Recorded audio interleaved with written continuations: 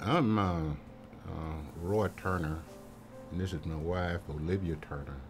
Well, um, one day uh, I wasn't feeling too well. Uh, my back was hurting and, and sides was hurting. I went to to AHEC, the um, the center there, the Well Clinic Center there at, uh, across the street from uh, Cape Fear. I had a chest X-ray.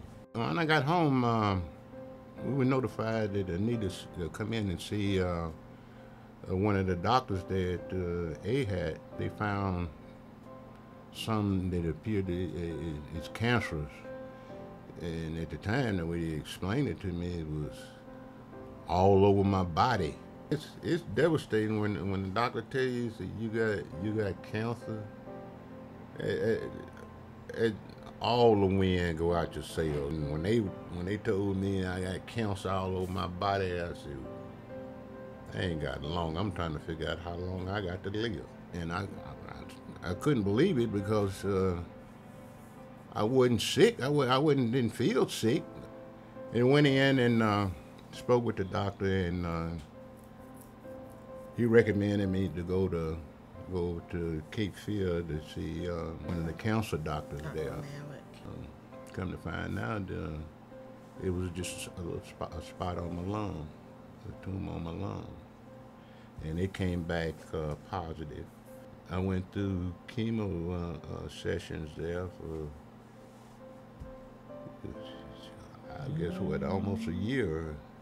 The chemo, the personnel that work in there is just beautiful.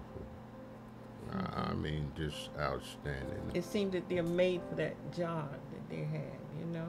After the chemo, uh, uh, Dr. Malik recommended me to to radiation uh, to have uh, see. So I went over to radiation and uh, spoke with Dr. Bryant.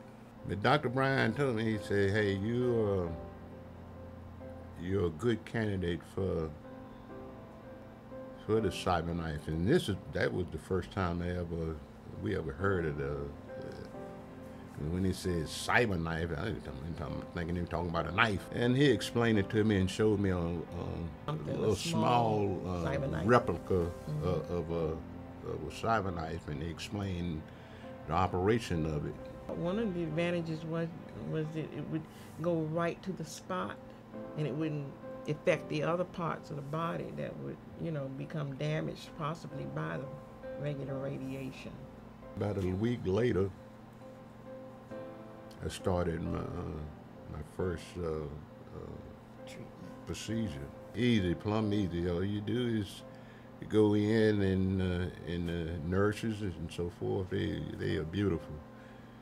They uh, got me in position. It goes uh, completely around you and it's shooting the radiation right on the tumor. It's nowhere else but on the tumor. The amazing part about it, you don't have no side effect. And going back to seeing, going back for uh, follow-ups, you know, they put you in the room there and say, well, he'll be in here in a few minutes. Then you sit in there and you sit in there. He's gonna come back in here and tell me something. He's gonna tell me something that I don't want to hear. And he'll come in and he'll, you know, casual, nonchalant, casual. He said, well, you know, what's the matter? What, what's the matter? What, why you got that look on your face? I said, hey, I'm waiting on you to tell me, hey. He said, no. He said, no, you you all right? Yeah, he said, you look like you kicked it. Mm-hmm. Hey, mm-hmm. thanks. That's a good phrase.